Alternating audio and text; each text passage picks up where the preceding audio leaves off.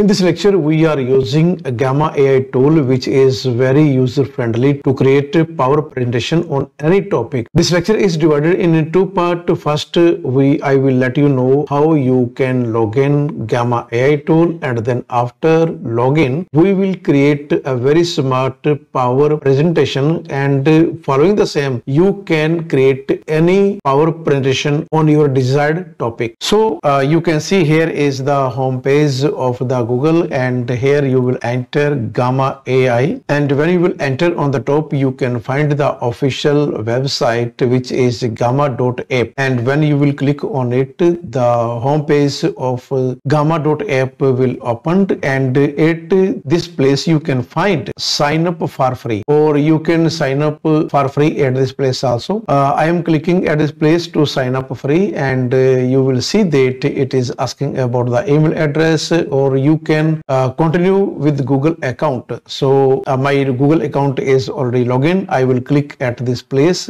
and uh, it will take few seconds. Yes, I need to choose email address. Welcome to the Gamma. It shows two icons. Uh, either you can use this Gamma for uh, team or company or for personal use. So I am using here for personal use and workspace name I have is MTF workspace. You can change it. Then after I will create here workspace. At this place there are three options uh, workspace for uh, work, for school, for personal use. I am using here for personal use and then after which type of work is there I will choose. There are several options. I am working in education sector so I will choose this option. I am not a student. I am a, a teacher. Then uh, select school type. this is university and higher education. Then after we can easily get started. Uh, this is the home page of the gamma.app after login and you, these three icons will appear at a place. Very first is used for, for a presentation and second is used for document and last one is for web page. So we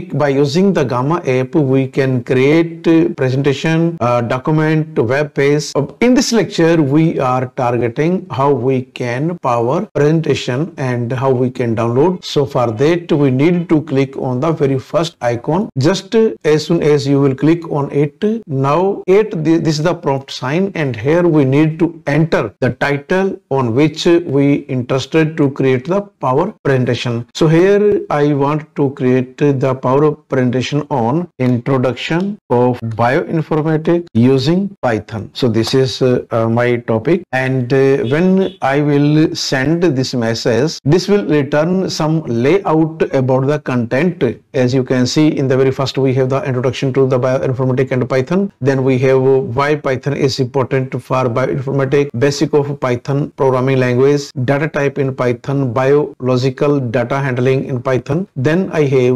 bioinformatics application using python. And at the end i have conclusion. So these are some content on which the this will create the slides. If you are willing to edit anyone you can do easily. So after that we need to click on continue. So when you will click on continue there are some template and themes are there. You can choose anyone according to your desire. So i am choosing here the theme is i select this theme okay? And after that click on continue. So as soon as you will click on continue uh, you can see here the power presentation is being created and it will take a few seconds. You can see all the slides are being prepared. Yes there are uh, six slides are there. Uh, you can export these. Just go to edit place. You need to click on three dot then select export. And there are two options export to pdf and export to powerpoint. Uh, i would like to export to